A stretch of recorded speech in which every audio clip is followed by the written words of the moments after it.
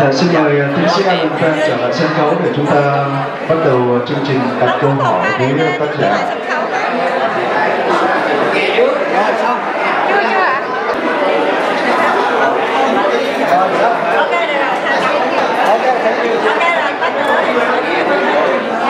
Quý vị có một phút để đặt câu hỏi thưa quý vị, một phút để đi trực tiếp vào vấn đề.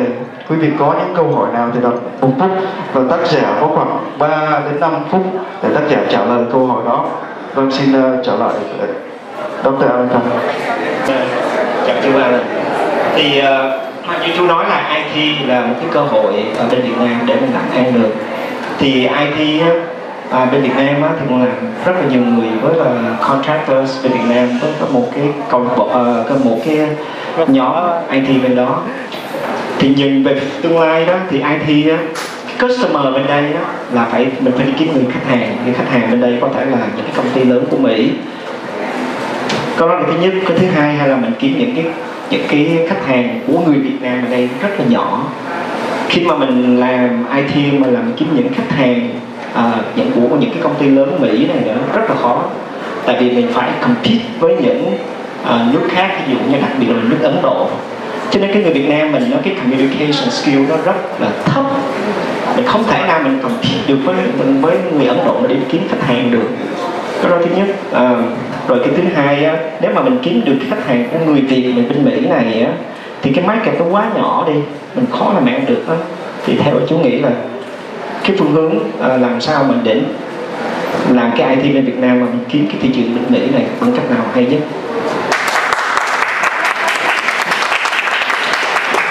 À, cảm ơn Đức.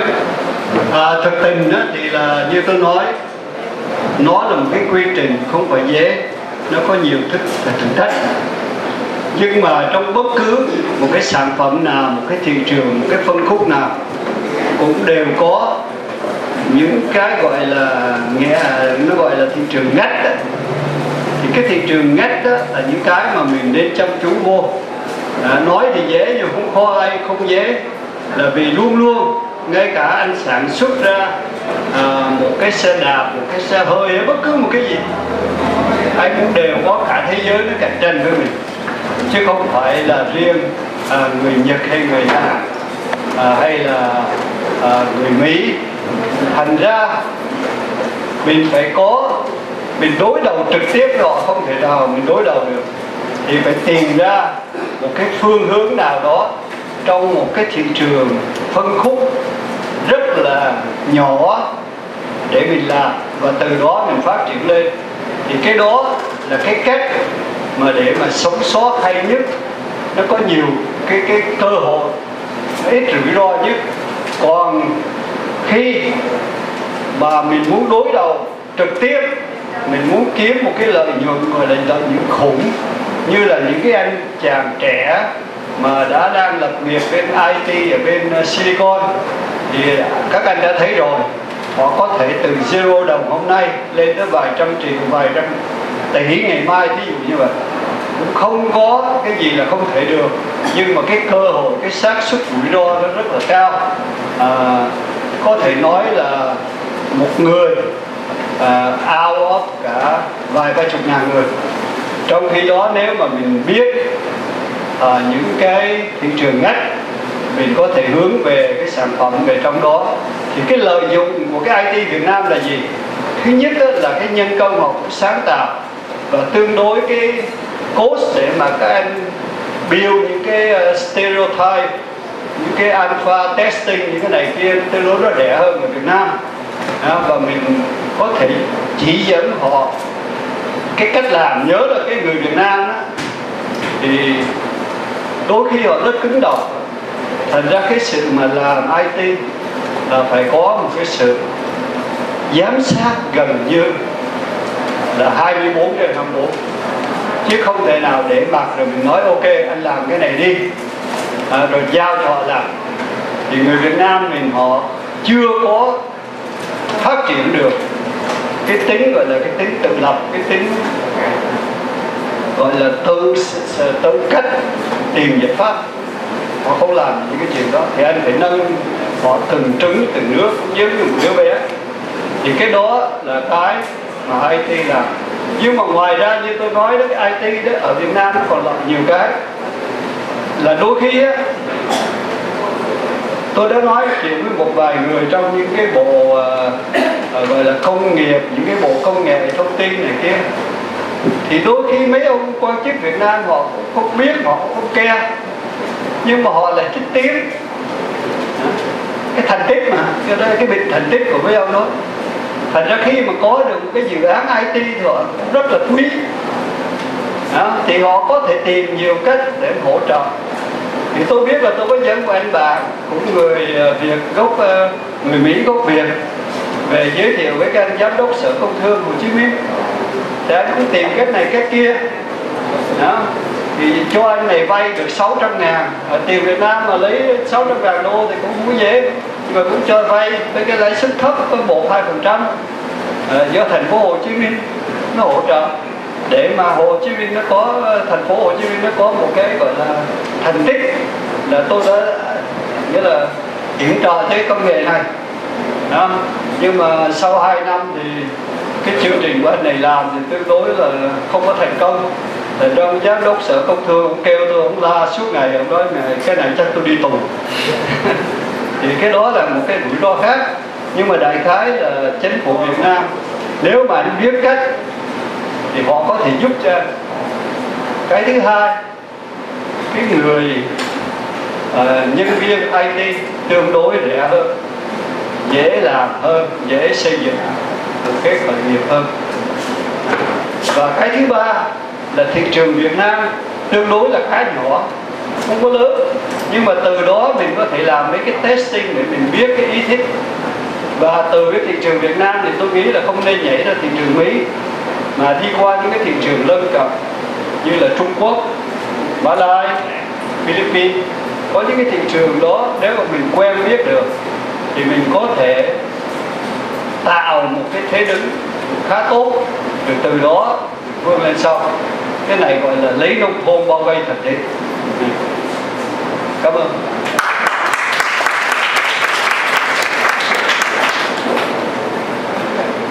À, cảm ơn chú An. Phan Dạ, thì những cái mà chú ờ, chia sẻ thì con thấy rất là rất là hay.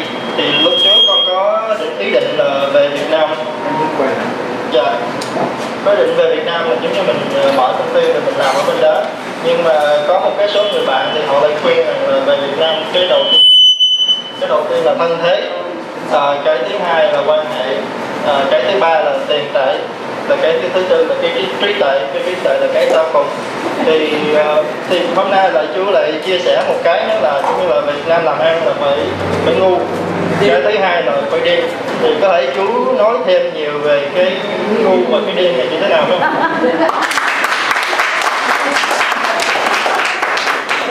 Tức là mình giả bộ ngu cái điên á.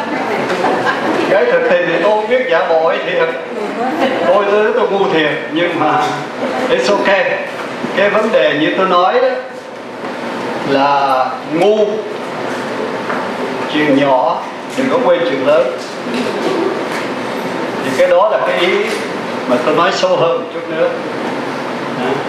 Đừng có vì những cái lời nhỏ lặt vặt mà bỏ đi cái con cá lớn phải biết câu cá lớn mà biết câu cá lớn như tôi nói hồi nãy phải có kiên nhẫn à, thì cái quan hệ lần lần được tạo được thôi chứ không phải là một cái chuyện gọi là nhiệm vụ bất khả thi như của Tom Cruise.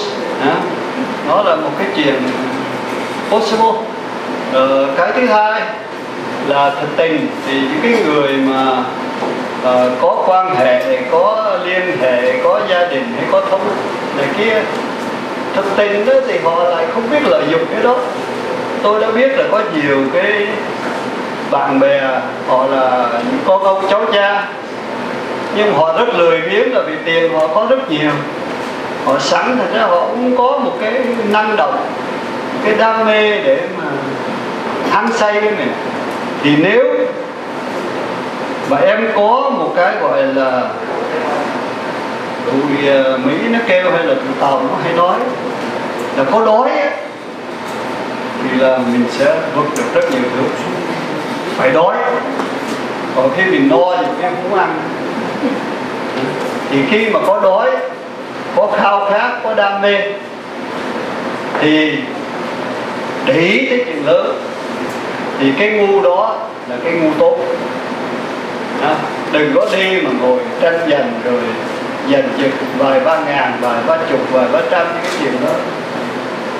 Mà khi mà họ thấy mình có vẻ ngu ngu những cái chuyện nhỏ, họ cho là mình cũng ngu lui chuyện lớn thì đó là rất là tốt.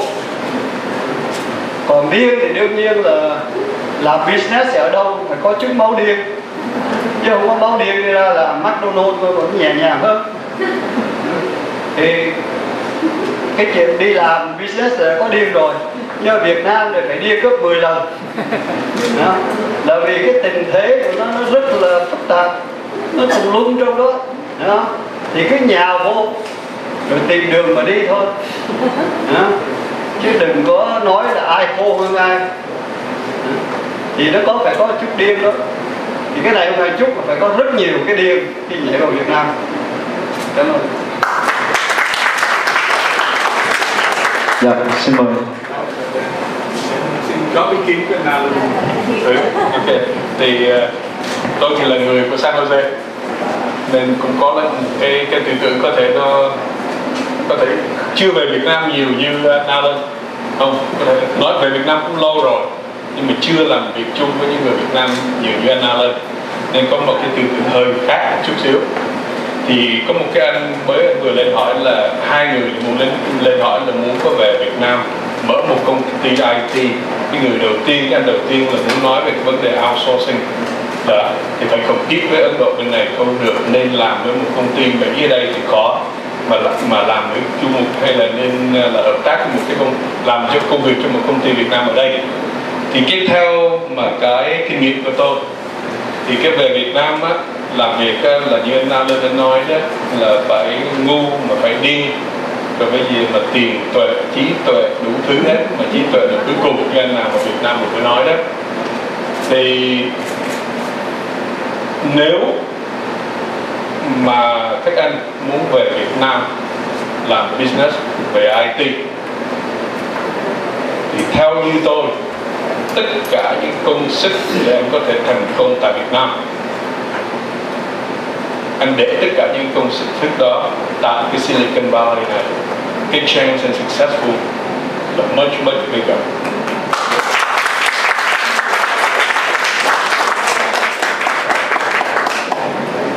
Nhưng mà tại sao chúng ta vẫn về? Thì cái đó là mỗi người có một cái tâm trạng riêng. Đó thì tại sao tôi lại về Việt Nam? Thì tôi cũng mới kể một câu, câu chuyện nhỏ. Để, tôi kể một cái câu chuyện nhỏ là tại sao tôi về Việt Nam? Thì tôi qua bên này năm 75 là coi như là tôi thề là không bao giờ bước chân về Việt Nam cũng như bố mẹ tôi. À. thì tưởng rằng là coi như là sẽ không phải về rồi. Mà tình cờ đến năm 95 mẹ tôi muốn về thăm một người chị ở Việt Nam. Thì tôi phải đưa mẹ tôi về thăm một người chị ở Việt Nam sau 20 năm rồi cũng đi rồi cũng về rồi coi tưởng là coi như là chỉ về một lần thôi. Đó. Xong đến năm 2000 đang ngồi trong công ty, thì người VP với HR của HP mới gọi tôi bạn là tổng thống Clinton về Việt Nam. Bây giờ hãng cần một người executive của HP để đi cùng, đi đại diện cho hãng về Việt Nam với là ông Clinton. Đó. Anh bảo rồi mày muốn về Việt Nam hay không? Cũng bảo mình nghĩ là ta không muốn về sao? Thì đương nhiên là mình cũng muốn về.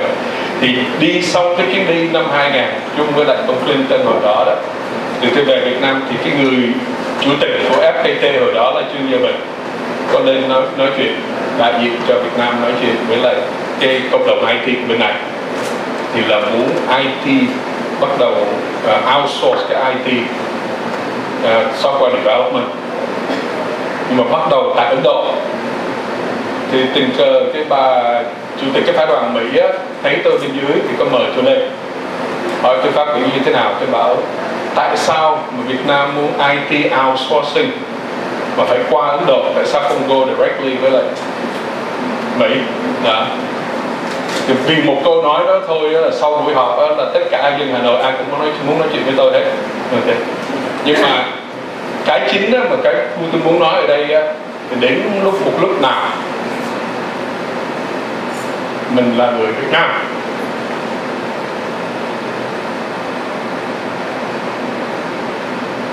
Thì mình không bỏ được cái xứ Việt Nam.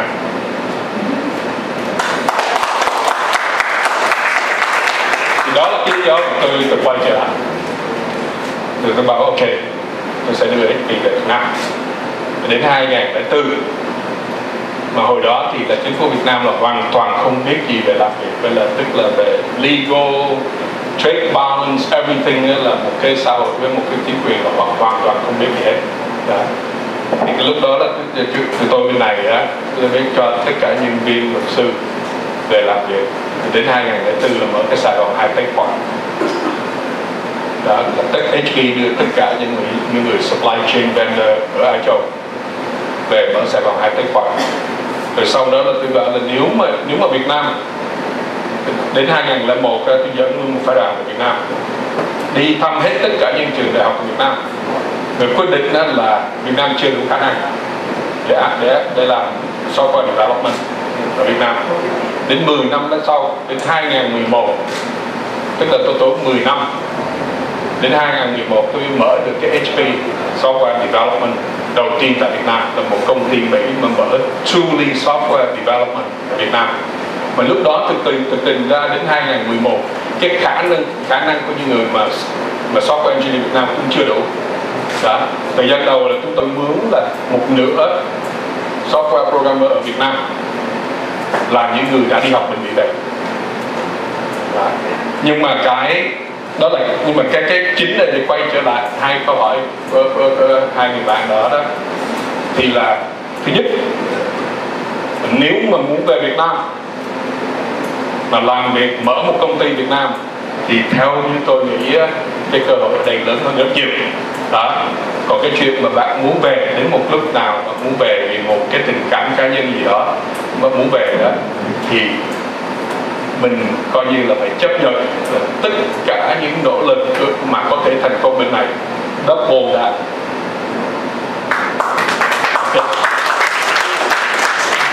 vâng, à, xin cảm ơn uh, anh Phi. Thì quý vị biết là anh anh Phi là phó giám đốc điều hành của tập đoàn HP toàn cầu trong suốt à, uh, 30 năm vừa qua. Cho nên những cái kinh nghiệm và những kiến thức của anh truyền đạt lại nó cũng rất là có giá trị. Vâng, để tiếp tục chương trình chúng tôi nhắc lại cái uh, Q&A là quý vị đặt câu hỏi trực tiếp trong vòng một phút và tác giả có đến 3 đến 5 phút để trả lời câu hỏi. Vâng, xin mời uh, xin mời em.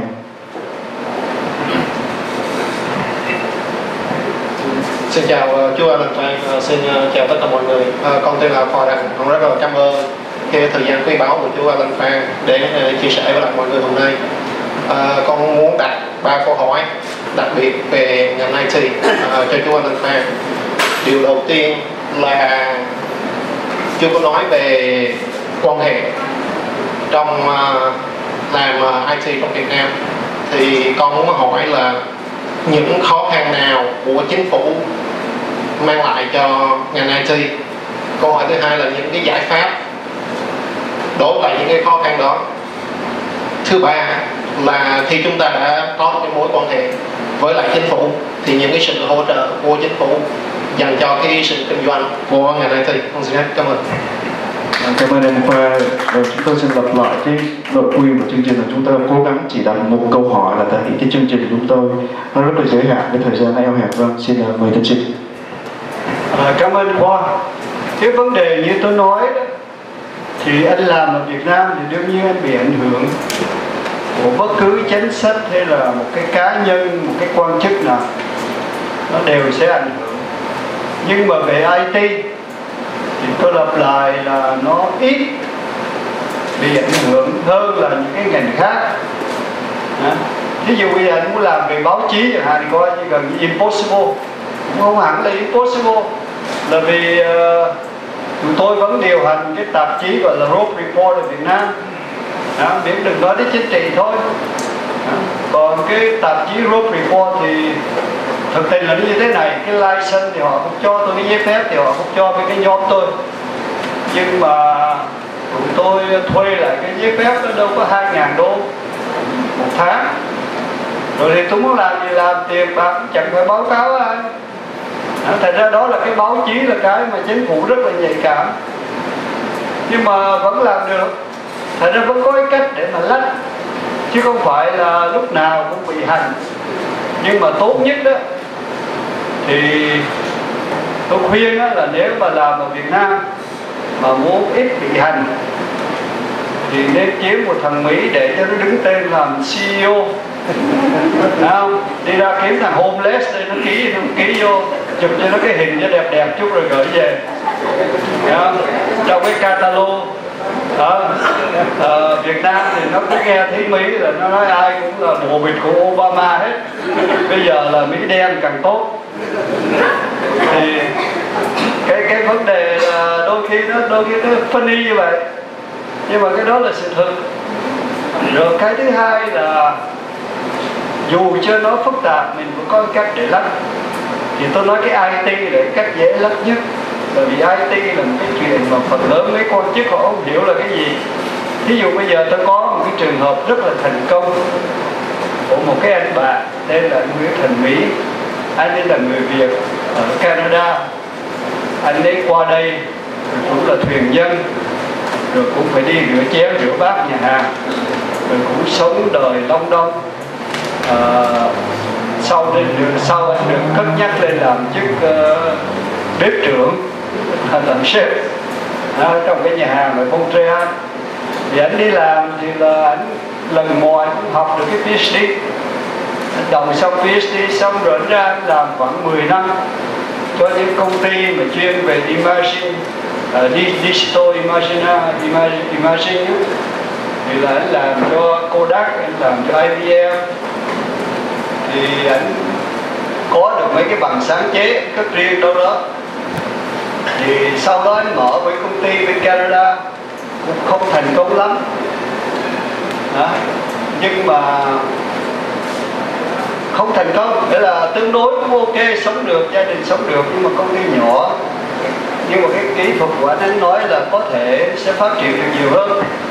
Thì em mới chạy về Việt Nam, có cơ hội về Việt Nam.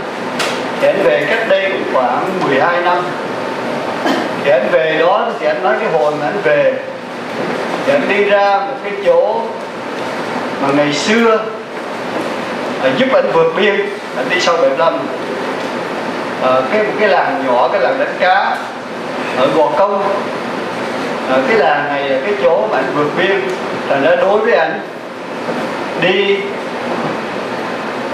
về xây một cái nhà máy ở Gò Công là một cái cách để anh trả ơn cho những người đã giúp anh đi vượt biên là vì khi mà trước khi anh đi vượt biên thì anh nói là gia đình anh thì cũng nhiều cái ly tán.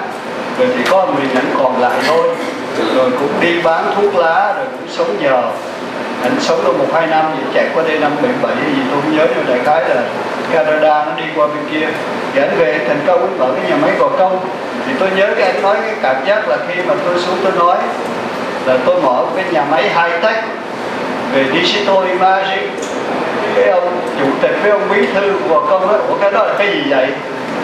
Nói là mở cái nhà máy hai tách với ông cười với nó trời ơi trên cái đất ruộng này sao anh ra cái nhà máy hai tách anh kiếm luôn nhân viên này kia. Nhưng mà mấy ông cũng ok. Rất quý thôi. Thì ông nói là thậm chí là ông chỉ ra mấy khu đất ruộng nó anh muốn lấy gì anh lấy. À, cái, cái thoải mái thoải mái mình không biết là cái gì nữa mà không biết đầu tư cái gì cái việc anh muốn làm gì anh làm? Anh nói là cái giấy phép anh lấy trong chỉ trong vòng 2 tuần. Là có giấy phép đầu tư giấy phép này kia ký với cái rột rồi à. rồi mấy ông hiểu là ông cái gì nữa mà cứ nói năm ba triệu bạc mấy ông này là hoàn toàn vô tiền thị trường hay về bất cứ cái gì gọi đấy. Đó, không biết cái môi trường là cái gì ông kêu ok cái việc làm lấy đất ruộng mà làm. Thì anh xây bây giờ cái nhà máy của anh. Anh xây trong mất 3 năm cái nhà máy của anh bây giờ khoảng 500 nhân viên. Mà cái mà tôi impress nhất, tôi ấn tượng nhất là một cái nhà máy mà anh xây nghĩa là tối tân, như một khách sạn năm sao, ở giữa một cái vùng quê hiu quạnh. Quanh đó toàn là dân dân ruộng, dân đánh cá. Một cái khu đất anh làm cái vườn cây như khách sạn năm sao anh đi vô cái toilet của nhân công. Anh chạy cho người ta cái cách mà nói thiệt nó sạch hơn cái hai Hyatt Hotel ở Sài Gòn. Mà đây là nhân công những người mà làm thấp nhất. Anh có biết những cái tài tổ chức anh ngồi anh kiên nhẫn anh dạy người ta? Và từ cái đó trong cái cộng đồng đó nghĩa là cái cái cái cái uh, nhà máy của anh trở thành một cái biểu tượng mà khi tôi viết cái bài trên ờ, góc gì để lên thì mấy ông chủ tịch nước mấy ông thủ tướng là đòi đi thăm. Để coi nó ấn tượng như nào. Thực tình nếu mà các anh có dịp về gò công à, coi cái gọi là Mỹ Lan Group thì là các anh sẽ thấy nó là vô cùng ấn tượng. Một cái chỗ vùng hẻo lánh. Anh xây lên một cái nhà máy anh dạy cho người dân cái người mà gọi là nông dân cái cách sống văn minh. Cái người công dân mà thấp nhất của lương của anh cũng phải 5 triệu 6 triệu một tháng mà anh gửi đi hàng năm qua bên những cái xứ như là Singapore, à, uh, Mã Lai để người ta học cái cách văn minh người sống. Còn cái cấp mà quản trị để đào tạo thì là anh gửi đi qua Mỹ, qua Âu, qua Nhật để mà học những cái khóa về chuyên môn. Thì bây giờ cái kỹ thuật của anh cái công nghệ của anh rất cao. Cho đến cái độ là bây giờ trong cái doanh thu 25 triệu một năm thì 25 triệu một năm, cái doanh thu thì có vẻ không có gì lớn, nhưng mà shocking hai chuyện thứ nhất là 90 phần trăm của anh xuất khẩu qua bên Trung Quốc. Thì các các bạn biết là một cái sản phẩm công nghệ mà xuất khẩu Trung Quốc mà không bị bắt trước mà nó có phải tiếp tục nó mua của mình, cái đó là phải ngã một thắng phục. 90 phần trăm của cái 25 triệu là đi qua Trung Quốc đó. còn những cái phần còn lại là đi qua Hàn Quốc, đi qua Nhật Bản trong nước thì anh bán được có 31 phần trăm rồi cái thứ hai là cái đội ngũ của anh, cái cơ sở của anh có thể nói là tuyệt vời thơm phức không có như một cái nhà máy đó.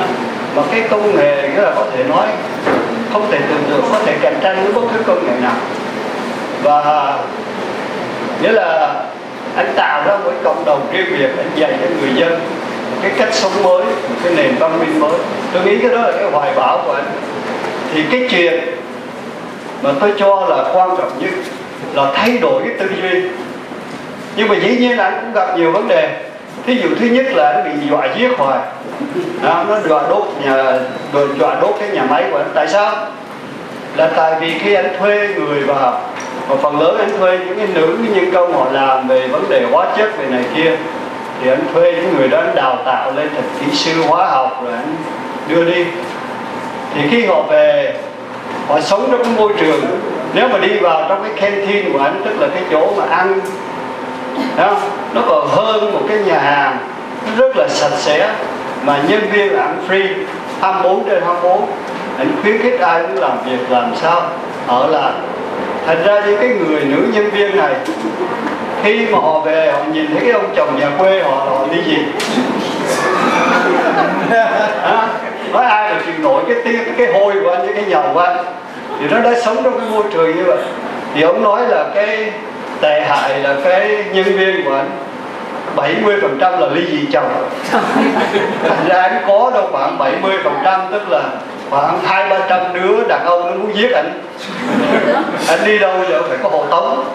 Là ra nhà máy là nó muốn giết anh rồi. Thì nó trong một cái môi trường rất là đặc biệt. Đó, họ sống ở đó quen rồi ngay cả những cái bà nông dân quét dọn mà họ cũng đã quen với một cái lối sống rất là sạch. Đó. thành ra bây giờ mà đi vô trong một cái cầu tiêu mà rủng rỉnh nước mà hôi hám ở nhà là họ không uống được đó thành ra họ tạo ra một cái tư duy mới một cái lớp người mới. Thì cái cái thành công của anh nó chỉ giới hạn trong 500 người đó thôi trong 500 cái gia đình đó thôi.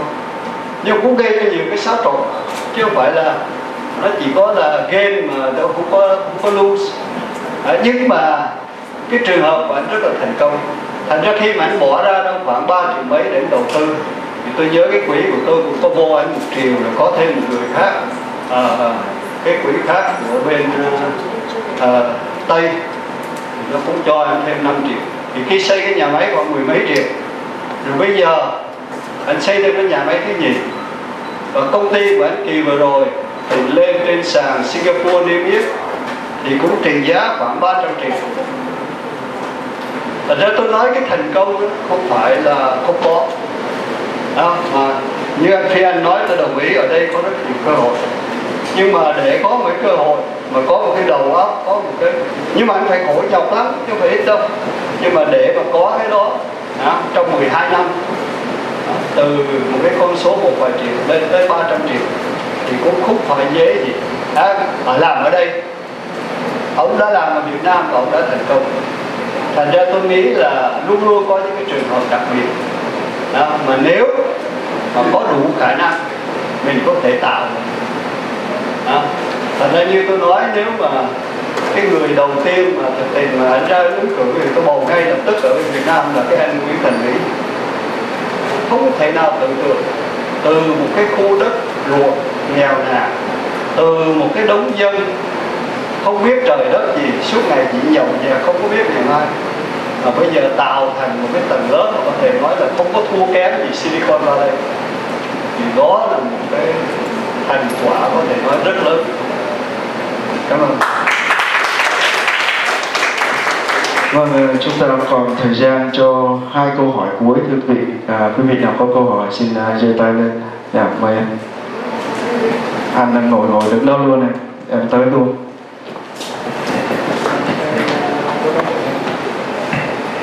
Dạ thưa tiến sĩ, à, con là Tài. À, lúc đầu tiến sĩ có nói về à, uh, IT nãy giờ mình nghe nhiều rồi, nhưng mà tiến sĩ có thể uh, nói nhiều về cái đề tài thứ hai về nông nghiệp. Đó cũng là một cái đề tài mà con rất là thích, mà nó cũng là một trong những cái mũi nhọn của nền kinh tế Việt Nam nếu như nếu mà chúng ta đầu tư thành công. Và xin hết ạ.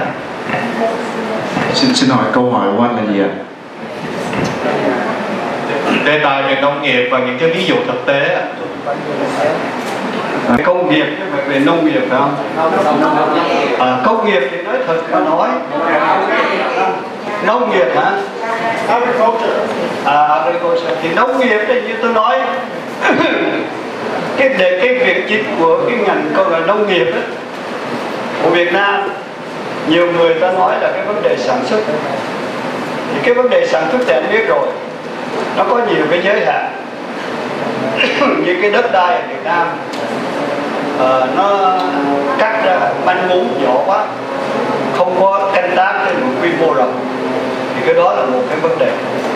Cái vấn đề thứ hai là cái công nghệ mà đi kèm với cái canh tác tương đối là nó nghèo nàn. À, chưa đi học được những cái cách mà để mà thí dụ như đo độ ẩm hay là làm những cái này kia người nông dân Việt Nam mà chưa có đủ cái bản lĩnh để mà làm cái chuyện đó đó là những cái sự thua kém về cái vấn đề sản xuất tôi nói trước. Mà họ trồng thì họ trồng theo cái vấn đề bày đàn hôm nay thì nghe ông Đức mua cao su về trồng cao su. Thì hùng hùng để kéo nhau đi trồng cao su. Tới khi cao su xuống giá thì chặt cao su đi trồng cái khác. À, rồi à, nghe nói mắc ca là cái này bán được mấy ngàn đô la một tấn à, thì hầu nào đi trồng mắc ca xong trồng nửa chừng thì thấy ô cái này bán đâu có dễ mà cũng đâu có được mấy ngàn mấy ông nhà báo thổi bậy lên. À, thì lại bắt đầu là đi bỏ cây mắc ca lại quay về không biết làm gì đi trồng cà phê. Rồi cà phê xuống giá rồi đó là tất cả mọi thứ cái là quanh quẩn. Họ loay hoay với cái vấn đề chính là như người như cái ông Nông Đức Mạnh cũng nói là trồng cái gì nuôi con gì. Đó. Thì ờ, ông Hồ thì ông nói đi trồng người. Không trồng người mình trồng cái gì. Nhưng mà đại khái là trồng cây gì, nuôi con gì. Đó. Nhiều người khuyên nuôi con gái thì cái đó có giải tốt hơn. Đó là một cái xuất khẩu mạnh của Việt Nam. Nhưng mà họ không biết những cái vấn đề chính đó. Nhưng mà cái vấn đề chính mà cái người nông nghiệp họ thiếu là cái gì? Là như tôi nói, cái thị trường. Họ không nắm vững được thị trường họ không biết là cái thị trường nó sẽ đi về đâu. Họ không có những dự đoán chính xác. Họ không có những người giúp họ để hiểu rõ cái thị trường. Và họ không có những cái quan hệ để họ nắm những cái đầu mối của những cái thị trường của nước ngoài. Thành ra vì họ không biết là ai sẽ mua mua với giá nào. À, và trong tương lai hai ba năm nó sẽ thay đổi làm sao? Thì chính vì không biết cái đích đến thì làm sao mà anh biết anh đi làm sao? Thành ra cứ đi loanh quanh đi chạy tới chạy lui. Thì cái đó là cái nạn của nông nghiệp Việt Nam. Thì nếu mà anh có một cái tư duy mới à, tôi tôi rất hào hứng là trong tôi từ tư vấn cho một cái anh là tôi đi ra ngoài Phan Rang. Tôi thấy cái anh Pháp này anh đi về hưu. Thì anh đi anh có bà vợ Việt Nam. Thì bà vợ sách ông về Phan Rang. Rồi trồng cái cây vani đó cái cây mà để làm bánh mùi hương vani thì cây đó thì hiện bây giờ thì phần lớn là nó xuất khẩu từ Madagascar nó gần như nó chiếm 6 70 phần trăm của thị trường. Thì cái anh Pháp này, anh biết cách trồng, anh biết cái cách, gọi là, canh tác, anh biết cái thị trường. Bởi vì ngày xưa làm Madagascar, thì anh đem về đó anh trồng thì rất thành công.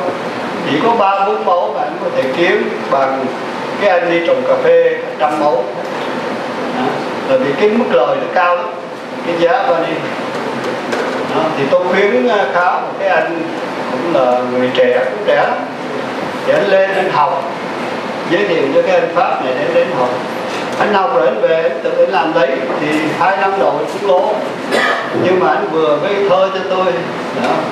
Ờ, cách đây à, hai năm gì đó để nói bây giờ con bắt đầu thu hoạch tốt rồi thì khi mà thu hoạch tốt bán được vì cái ông người pháp hướng dẫn cái thị trường bán thì là tương đối ông ấy kiếm tiền rất thoải mái.